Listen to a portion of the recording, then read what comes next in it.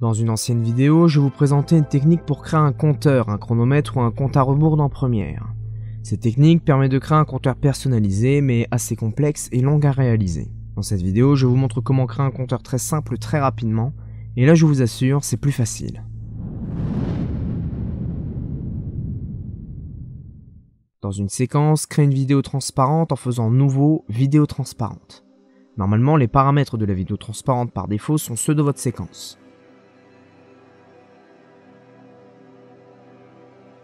Ensuite, appliquez l'effet code temporel sur la vidéo transparente. Vous pouvez déplacer et modifier la taille du texte, l'opacité du fond.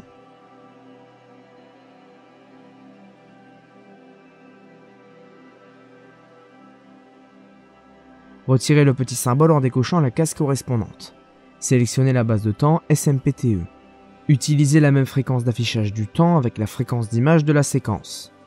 Dans la source du code temporel, sélectionnez Générer. Vous pouvez y définir le point de départ.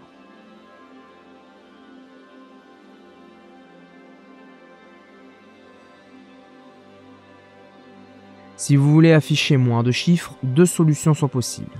Soit vous créez un masque qui isole les chiffres désirés,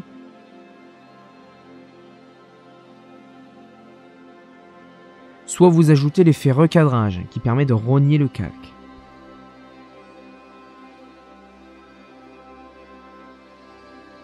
Si vous voulez créer un compte à rebours, allongez le calque jusqu'au moment désiré, ici 2 minutes.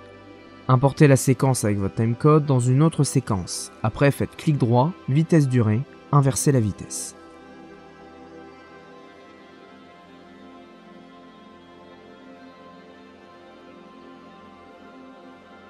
Si vous voulez créer un compteur non temporel, remplacez la base de temps SMPTE par un compteur d'image.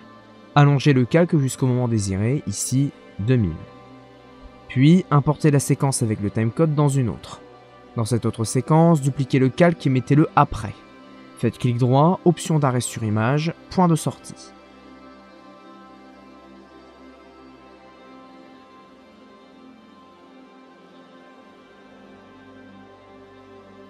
Ensuite, vous pouvez accélérer le compteur en faisant clic droit, vitesse durée ou avec l'outil allongement compensé qui permet de compresser ou de détendre votre calque pour qu'il ralentisse ou qu'il accélère, afin de lire l'entièreté du calque dans le laps de temps que vous avez défini.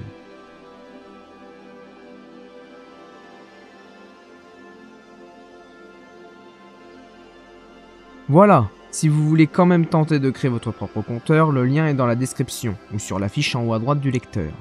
Ne vous inquiétez pas, ça peut paraître compliqué, mais en suivant pas à pas les instructions, vous y arriverez.